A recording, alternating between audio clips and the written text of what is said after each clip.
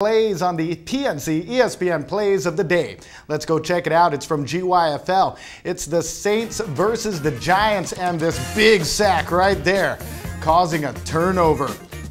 Let's look at that again. Ouch, that's gotta hurt.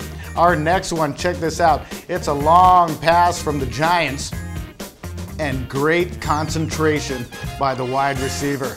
Nice that kid's got skills. Our next play, it's another pass. Check it out. He goes long one more time. It hits the receiver, but he didn't catch it. It hits him right in the face mask. And our next play, check this out, another pass, but it's an interception by the Saints. Look at this kid using all his body to grab that ball.